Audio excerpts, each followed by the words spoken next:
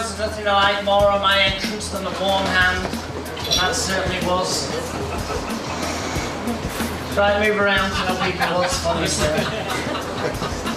But I'd like to welcome you all to what's going to be for most of you, I'm sure, a truly interesting, informative, and don't worry, we'll be coming to gentleman very soon, uh, interesting evening. And now the reason I say most of you is because obviously many of you, like these three lovely young men here, will be hypnotised. This is the uh, bit where you become stars on British TV. Yes, indeed. And he's thinking, oh dear, an audience can smell fear, especially if you've shit yourself before you walk on stage. Life in the bus lane, haha. You want to be on TV, and you want to use your powers of intelligence, imagination, and concentration effectively. So hands out in front of you, everybody, just like this. That means yes, exactly, everybody.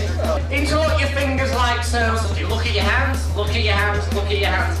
So you're in the audience doing this, look at your hands, squeeze them together as tightly as you can, and just use your powers of intelligence, imagination, and uh, concentration as effectively as you can. And finally, on the count of one, I want each and every person, you don't need to move from where you are, but even if your hands are only slightly tight, keep pushing them together as tightly as you can at all times, keeping them together above your head. You can stay stand where you are, but lift them above your head, up, up, into the air like this. Okay?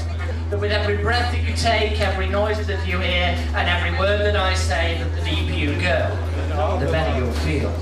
The better you feel, the deeper you will go with each and every second that passes by. No noises will distract you whatsoever. You want to take part, you want to be famous, you want to be on TV, you want to have a bit of fun, you want everyone to be buying you drinks afterwards and saying what's been going on. And then and only then your hands will get even tighter. And what I'd like you to do is stand up and walk this way towards the stage right now.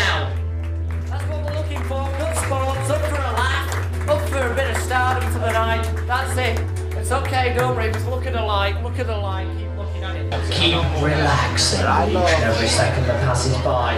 Only talking to you if I touch you on the shoulder, sir. Keep looking at the light, but what's your name again? Niels. Niels. Is that roughly right? Yes. Okay. I'm going to count from three to one. On the count of one, you feel the microphone touch your head. The very moment it does, your eyes will close, your head will fall forward, and deeper. Three, the deeper you go, the better you feel, and the better you feel, the deeper you go. I will not let you fall and hurt yourself. You'll just fall into a beautifully relaxed state of hypnosis.